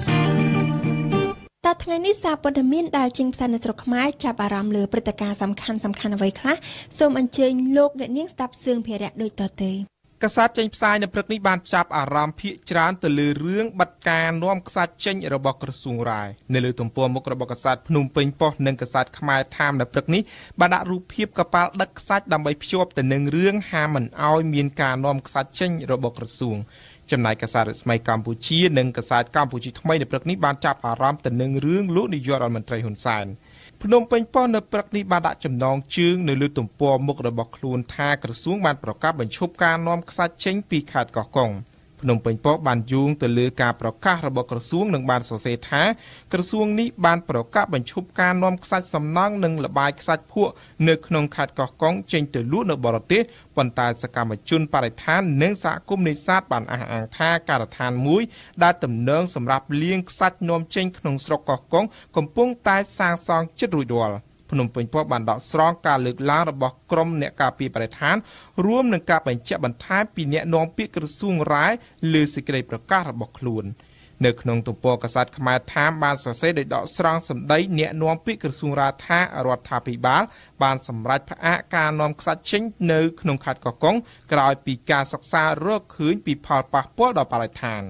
កាសែតនេះសរសេរបន្តដោយដកស្រង់ការបញ្ជាក់របស់មន្ត្រីរដ្ឋាភិបាលថាខ្សាច់ប្រមាណជាង16លានតោនត្រូវបានលក់ទៅឲ្យប្រទេសសង្ហបុរីចាប់តាំងពីឆ្នាំ2007រហូតដល់ឆ្នាំ2015ប៉ុន្តែរបាយការណ៍នាំចូលខ្សាច់របស់ប្រទេសសង្ហបុរីឲ្យដឹងថាខ្សាច់ប្រមាណ72លានតោនត្រូវបាននាំចូលមកក្នុងប្រទេសនេះក្នុងអំឡុងពេលខាងលើ កាសែតរស្មីកម្ពុជានៅព្រឹកនេះមិនបានចាប់អារម្មណ៍នឹងរឿងនាំខ្សាច់ចេញទេប៉ុន្តែកាសែតបែរជាចាប់អារម្មណ៍នឹងប្រតិកម្មរបស់លោកនាយករដ្ឋមន្ត្រីហ៊ុនសែនព្រោះរឿងនេះកាសែតបានចុះផ្សាយនៅលើទំព័រមុខរបស់ខ្លួនដោយចំណងជើងធំធំថាលោកនាយករដ្ឋមន្ត្រីហ៊ុនសែនប្រាប់ទៅអ្នកដែលពូកាឆ្ងល់ខាងក្រោមចំណងជើងនេះកាសែតបានដាក់រូបភាពលោកនាយករដ្ឋមន្ត្រីថតជាមួយចៅចៅរបស់លោកខាងក្រោមរូបភាពនិងចំណងជើងនោះគឺជាសាច់រឿងនៃរឿងខាងលើនេះ។ រដ្ឋស្មីកម្ពុជាសរសេរថាប្រមុខរដ្ឋាភិបាលកម្ពុជាលោកនាយករដ្ឋមន្ត្រីហ៊ុនសែនបន្ទាប់ពីអវត្តមាននៅក្នុងប្រទេសកម្ពុជាប្រមាណជាងមួយសប្តាហ៍កន្លងមកនេះកាលពីប្រលប់ថ្ងៃទី10ខែកក្កដាបានបង្ហោះសារនឹងរូបភាពជាលក្ខណៈគ្រួសារជាង20សន្លឹកបង្ហាញថាលោកកំពុងវិស្មកាលនៅក្រៅប្រទេសជាលក្ខណៈគ្រួសារ ជុំវិញនឹងនេះដែរកាសែត Cambodia Daily បានចុះផ្សាយដែលដាក់ចំណងជើងថាលោកហ៊ុនសែនតបវិញចំពោះការអះអាង ដែលថាលោកមានបញ្ហាសុខភាពកាសែតមួយនេះបានបន្តសរសេរសាច់រឿងរបស់ខ្លួនថាលោកនាយករដ្ឋមន្ត្រីបានបន្តវាប្រហារអ្នកលេង Facebook ម្នាក់ដែលអះអាងថាលោកនាយករដ្ឋមន្ត្រីហ៊ុនសែនចេញពីប្រទេសកម្ពុជាទៅព្យាបាលជំងឺដោយចាត់ទុកថាអ្នកលេង Facebook រូបនេះថាជាជនពាលដែលមានបំណងបង្កភាពចលាចល។ Cambodia Daily បានកត់សម្គាល់ថាលោកនាយករដ្ឋមន្ត្រីហ៊ុនសែនគ្មានសកម្មភាពនយោបាយឡើយក្នុងរយៈពេលប៉ុន្មានសប្តាហ៍ថ្មីថ្មីនេះដោយកិច្ចប្រជុំគណៈរដ្ឋមន្ត្រីត្រូវបានផ្អាក3លើកជាប់ជាប់គ្នារឿងដ៏គួរឲ្យចាប់អារម្មណ៍មួយទៀតក្រៅតែពីរឿងលោកនាយករដ្ឋមន្ត្រីហ៊ុនសែននោះគឺរឿងមន្ត្រីជាន់ខ្ពស់ចំនួន11រូបក្នុងខេត្តមណ្ឌលគិរីស្ថិតក្រោមការស៊ើបអង្កេតពាក់ព័ន្ធការជួញដូរឈើខុសច្បាប់នេះបើតាមកាសែត Cambodia Daily រឿងមួយនេះមិនត្រូវបានចុះផ្សាយនៅលើទំព័រកាសែតផ្សេងទេនៅព្រឹកនេះកាសែត Cambodia Daily បានសរសេរបន្តដោយដកស្រង់ការលើកឡើងរបស់ក្រមមន្ត្រីកាលពីម្សិលមិញថាការស៊ើបអង្កេតរបស់តុលាការពាក់ព័ន្ធការជួញដូរឈើខុសច្បាប់បានផ្ដោតគោលដៅលើមន្ត្រីខេត្តចំនួន11រូបរួមមានមេបញ្ជាការយោធានិងមេបញ្ជាការកងរាជអាវុធហត្ថខេត្តមណ្ឌលគិរីនិងអាចទាំងព្រះរាជអាជ្ញាអមសាលាដំបងខេត្តផងនោះបណ្ដាលឲ្យមានការផ្ទេរសំណុំរឿងនេះមករាជធានីភ្នំពេញតាមសំណើរបស់រដ្ឋមន្ត្រីក្រសួងយុតិធធកាសែត Cambodia Daily បានសសរសេរដោយដកស្រង់ការលើកឡើងរបស់លោកជឹងសុចន្ទថាអភិបាលរងខាត់ថា ការស៊ើបអង្កេតនេះដោយសារទទួលបានព័ត៌មានពីអ្នកជាប់ឃុំ6នាក់ជាជនជាតិវៀតណាមដែលត្រូវបានចាប់ខ្លួនកាលពីខែកុម្ភៈនៅពេលពួកគេដឹកឈើកាប់រួចខុសច្បាប់ទៅកាន់ប្រទេសវៀតណាមភ្នំពេញប៉ុស្តិ៍នៅព្រឹកនេះក្រៅតែពីចុះផ្សាយរឿងហាមមិនអោយមានការនាំខ្សាច់ចេញទៅក្រៅប្រទេសកាសែតនេះក៏បានចុះផ្សាយរឿងរបាយការណ៍នៃការដួលសន្លប់របស់កម្មករក្នុងរយៈពេល6ខែភ្នំពេញប៉ុស្តិ៍បានសរសេរដោយដកស្រង់តាមសំណេររបស់បេឡាជាតិរបបសន្តិសុខសង្គមថា កម្មកររោងចក្រដែលបានដួលសន្លប់នៅក្នុងរោងចក្រមានរហូតដល់39%ដែលមានកម្មករដួលសន្លប់ចំនួន117នាក់ក្នុងរយៈពេល6ខែដំបូងនៃឆ្នាំ2017ដោយសារតែសុខភាពខ្សោយនិងបរិយាកាសមិនមានផាសុកភាព។ បើតាមភ្នំពេញប៉ុស្តិ៍បេឡារបបសន្តិសុខសង្គមរកឃើញថាបញ្ហាដែលធ្វើឲ្យមានការដួលសន្លប់នេះដោយសារតែកត្តា4យ៉ាងគឺបញ្ហាចិត្តសាស្ត្រមាន50%បញ្ហារូបសាស្ត្រមាន31%បញ្ហាគីមីមាន13%និងបញ្ហាជីវសាស្ត្រមាន6%យើងបញ្ចប់នីតិទស្សនៈសារព័ត៌មាននៅព្រឹកនេះដោយនិយាយពីគម្រោងបន្ថែមរថយន្តក្រុងចំនួន5ខ្សែទៀតនេះបើតាមកាសែតកម្ពុជាថ្មី កម្ពុជាថ្មីសរសេរដោយដកស្រង់ការលើកឡើងរបស់អ្នកគ្រប់គ្រងរដ្ឋកោដឹកជញ្ជូនសាធារណៈស្វ័យយត្តករថយន្តក្រុងថាដើម្បីផ្ដល់សេវាដឹកជញ្ជូនឲ្យកាន់តែទូលាយរដ្ឋកោស្វ័យយ័តដឹកជញ្ជូននិងបង្កើនការដឹកជញ្ជូនចំនួន5ខ្សែថ្មីបន្ថែមទៀតខណៈចំនួនអ្នកជិះរថយន្តក្រុងចេះតែមានការកើនឡើងបតយូកាមហូបអាហារមុខរោងចក្រ ថោកមែនពិតតែរសជាតិវិញមិនចាញ់ម្ហូបនៅលើទីផ្សារទេនេះគឺជាការអះអាងរបស់អ្នកលក់នៅទីនោះហើយចំពោះតម្លៃវិញគេធ្វើតម្រូវកម្មករកម្មការិនីរោងចក្រពលគឺបាយមួយពេលត្រឹមតែ1500រៀលតែប៉ុណ្ណោះអេងគឹមហុងអ្នកកាសែតវិទ្យុបារាំងអន្តរជាតិបានចុះទៅដល់ទីនោះរៀបចំបទយោការជូនលោកអ្នកស្ដាប់ដូចតទៅ នៅម៉ោងប្រមាណជា11ព្រឹកនៅមុខរោងចក្រមួយកន្លែងនៅជារាជធានីភ្នំពេញមានសភាពអ៊ូអរយ៉ាងខ្លាំងព្រោះនេះជាម៉ោងសម្រាប់បាយថ្ងៃត្រង់របស់កម្មករកម្មការនីពេលធ្វើដំណើរកាត់ទីនោះយើងមើលឃើញថាការលក់ចំណីអាហារនៅទីនោះគឺដាច់ខ្លាំងណាស់ ហើយចំណីអាហារនៅមុខរោងចក្រគឺមានតម្លៃថោកបើធៀបជាមួយនឹងតម្លៃចំណីអាហារនៅលើទីផ្សារទូទៅជួបជាមួយអ្នកលក់ម្នាក់នៅដើមផ្លូវគាត់ធានាថាបាយម្ហូបគាត់ថោកមែនពិតតែរសជាតិវិញគឺមិនចាញ់ការលក់ដូរនៅលើទីផ្សារប្រហែលទេដាច់តាអូនចាជក់តន់ខ្លះអត់ខ្លះពេលជាប់តន់គេតែផ្សេងចាចាអូបញ្ញាប់អូនបញ្ញាប់ហ่าអេ 4មុខគីឡូតាពាំងហើយជួយយោងចេកឆាហើយស្ងោរម្រះមកថង1000 1000ចំណេញ1000អូចំណេញតិចណាស់អូនណាធ្វើម៉េចបើគ្នារោងចាក់ត្រូវការថោកឲ្យយើងឆ្លោទេតែនេះទៅហ្នឹងហើយប៉ុន្តែអត់ឆ្ងាញ់ក៏គេអត់ហូបដែរ អញ្ចឹងអត់សាញទេគ្នាក៏ហូបទៅក៏នេះដែរតម្រូវវាហ្នឹងវាហូបទៅវាឆ្ងាញ់ដែរគីឡូតាពាំងអីស្លសិតត្រីតលេនេះត្រីឆ្លាំងអាពីរុំទៅគាត់តម្លៃអត់មែនគាត់ដូចតម្លៃដូចជានៅទីផ្សារទីផ្សារមិនស្រួលអត់បានប៉ុណ្ណឹងផងគីឡូហ្នឹងហ៎ នេះយើងហូបយើងឆ្លោយើងមើលទៅតម្រូវនេះហ្នឹងមាត់យើងហូបមិនឆ្លោអញ្ចឹងណែហ្នឹងអត់មានលាក់គ្រឿងអីអត់លាក់អីខ្ញុំមិនឲ្យគ្នាហូបកើតកុំតម្លៃប៉ុណ្ណឹងហើយឲ្យគ្នាហូបអត់កើតទៀតមិនដឹងលក់មិនទៀត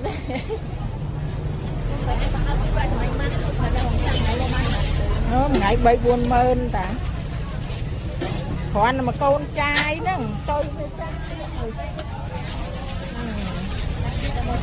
បខំមែនគាត់តែយើងទៅទទួលបានប្រាក់ចំណេញតិចហ្នឹងហើយតិចតែច្រើនគាត់នៅបានដែរវាគួបមួយមុខបន្តិចមុខបន្តិច3 4មុខហ្នឹងណា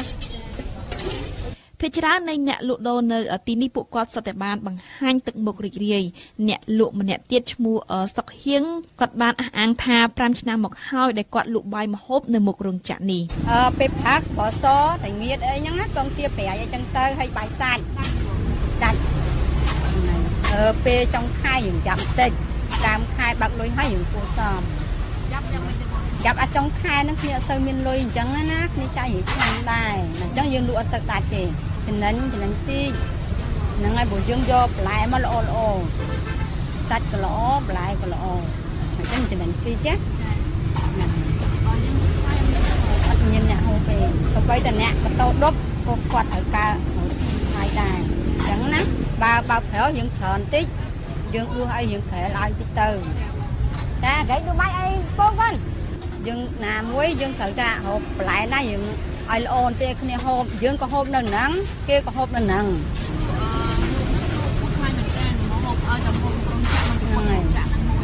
ហូបកន្លែងទាំងអស់ចំណេញមើលទៅទៅបាន50000 60000ចាក្នុងថ្ងៃតែបើយើងអត់ហើយអត់មានអីហូប កូនរៀនផងអីផងអញ្ចឹងណាថ្ងៃហ្នឹងវាអត់រៀនមកជួយនិយាយបានតែសូមមិនប្រាប់ឈ្មោះស្ត្រីម្នាក់ទៀតកំពុងអង្គុយដោតសាច់សម្រាប់អាំងក៏បានធានាពីគុណភាព នៃចំណីដែលគាត់កំពុងតែអាំងលក់នេះដែរខ្ញុំលក់គ្រឿងអាំងសាច់គោអាំងស្លាបមន់កោះចូលប្រហិតលក់យូរហើយតាំង2008លក់មិនទៅបងចាញ់អូនចាធម្មតាមិនសក1000អូន ពួកអីលើនៅតាមរោងចក្រកម្មករអត់សូវហ៊ានហូបថ្លៃទេ តែថាតំណែងយើងយកមកល្អដូចគ្នាខណ្ឌថាយើងដោតនៅរោងចក្រផ្សេងយើងដោតនៅតាមលក់តាមក្រៅផ្សេងអញ្ចឹងណាដូចថាអ្នកដំណើរអីចឹងចំណេញទៅបើយើងលក់ធូរថ្លៃចឹងនិយាយរួមថាវាបានបន្តិចបន្តួចណាអូនខណ្ឌថាយើងវាបានអ្នកខាងក្រៅទៅយើងមកយើងទប់យើងលក់នៅនេះខណ្ឌថា បានខណ្ឌថាមហូបមហូបហ្នឹងមានអ្នកសុយសាញមានព្រោះអីឥឡូវកម្មករគ្នាដូចថាប្រាក់ខែឡើងមែនតែថ្លៃផ្ទះឡើងណាចំណៃចំណុកអីឡើងគិតគិតទៅរឿងថាប្រាក់ខែឡើងនឹងនេះហ្នឹងដូចតែគ្នាគិតទៅតាប្រាក់ខែឡើងថ្លៃផ្ទះឡើងចំណៃចំណុកអីដូចមហូបមហាអីចឹងណាវាឡើងបងថាលក់នៅមុខចៅវាមិនសូវចំណេញបានច្រើនទេហើយទៅយើងលក់ទៅតាមស្ថានភាពជាក់ស្ដែងរបស់ពួកគាត់ចាហើយមួយថ្ងៃបង ចំណេញមកយើងនិយាយពីដូចចំណេញមកចំណេញបានណាទៅពី30000ហ្នឹងអូនចាមានទៅបានអីច្រើនតែមិនដឹងថាយើងរកអីពីបានតែមកឡើងទៅយកនៅនៅនៅផ្សារតែថ្លៃបើលក់សម្រាប់ពួកគាត់តម្លៃថេប៉ុន្តែបានតែឡើងថ្លៃបងអីវ៉ាន់សម្រាប់យើងយកម៉ូយយើងប្រចាំការវាតម្លៃវាមកភ្ជុំបើយើងយកលំអល្អល្អដូចយើងលក់នៅលើទីផ្សារទៅដែរបងចា យកមកល្អអូនព្រោះអីយើងញ៉ាំនឹងដែរហើយខ្ញុំអត់មានប្រឡាក់ដាក់អីក្រៅពីគ្រឿងឯណាមើលមើលអូនឯងមើលលាក់ក៏អត់មានដែរតែញ៉ាត់មានតែគ្រឿងឯងគ្រឿងយើងប្រឡាក់ទៅវាឡើងឯអាគ្រឿងនេះទៅវាមានគ្រឿងក្រហមក្រហមអញ្ចឹងណាក្រហមហ្នឹងមើលតាមការពិតបើលាក់ប្រឡាក់ដៃណាលក់បានតម្លៃថោកមែនពិតតែចំណេញគួរសមដែរសម្រាប់អ្នកលក់ភេសជ្ជៈមែនកាហ្វេមែនភេសជ្ជៈគ្រឿងកំប៉ុងហ្នឹង ដល់ពេលព្រឹកជាងបានតែជា100000មកព្រឹកដល់ពេលថ្ងៃបានតែជាង10ទៀតអញ្ចឹង1000ហ្នឹងពេលពួកគាត់មកគាត់ទិញទៅឲ្យគាត់ចាហ្នឹងហើយហាត់តែគេយកទៅហ្មងបើយើងអត់ច្រកទឹកនេះដាក់ធ្វើអត់តាន់ទេចេញមកហ្នឹងហើយចេញមកឆៅមកឆៅអញ្ចឹងណាអូយគ្មានចំណេញបានទេចំណេញតិចហ្នឹងប្រអ៊ីគេអ្នកផ្សេងគេលក់អញ្ចឹងដែរបើយើងអត់លក់គេអត់ទិញយើងគេទិញអ្នកផ្សេង តែគួយឆ្លាគួយអីគេតែមកថង1000ដែរចាមួយឆ្នាំអីគាត់ថាបងលក់តែមុខមកឆាយបងតែខ្ញុំមិនថាបងថាចំណេញតិចហ្នឹងបានប្រហែលទៅបងអាចបង្ហើបបានទេ4 50000ថ្ងៃទីថាយើងមានចំណេញរាល់ថ្ងៃអញ្ចឹងណាអត់សូវចំណេញបានទេបើតែជាយើងលក់1500ចំណេញច្រើនតែ100,000អញ្ចឹងណាព្រោះចាក់បាត់ថ្លៃពេកក៏គ្នាអត់មានលុយទិញដែរបាន តែបើកលុយទៅមានលុយដល់អត់បើកលុយគ្នាមានសូវមានលុយទិញលក់1000 1000អញ្ចឹងទៅពី2000ហើយអូនចាំទៅ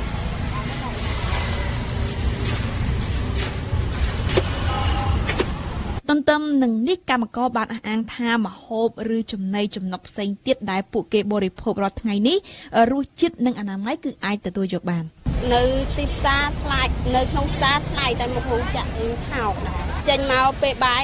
3000ចាតាមយើងចាយដែរចាបើតែហូបបាយតាម1500ទាំងមកហូបទាំងបាយចាឬហូបចំណីអីទៀត1000 1500អីទៀតចាបានបានបានខែបាននេះដែរអឺជួនកាលទៅខែម៉ោងរហូតដល់បាន200ជាងដែរបង ស្ដាប់កម្មវិធីព័ត៌មានរបស់វិទ្យុបារាំង AFE ពេលព្រឹកពីម៉ោង7ដល់ម៉ោង8ពីម៉ោង10កន្លះដល់ម៉ោង11ថ្ងៃរសៀលពីម៉ោង1ដល់ម៉ោង2រសៀលនិងពីម៉ោង4កន្លះដល់ម៉ោង5និងពេលយប់ពីម៉ោង7ដល់ម៉ោង8